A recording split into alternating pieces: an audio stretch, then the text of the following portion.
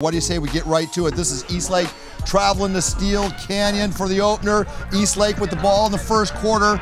Jordan Swan from, well, that's the Steele Canyon team coming onto the field. And this is Swan going in from three yards out. Titans take the lead after the point after fails 6 0.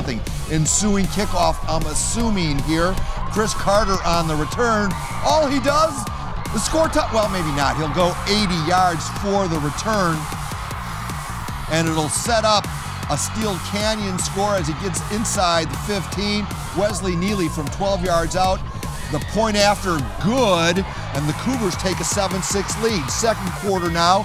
Jer- Jeremy Mendez-Gal from with a nine-yard touchdown pass to Antonio Walker. Cougars are up 14-6. And then David Martinez with the field goal from 23 yards out. Steele Canyon over Eastlake.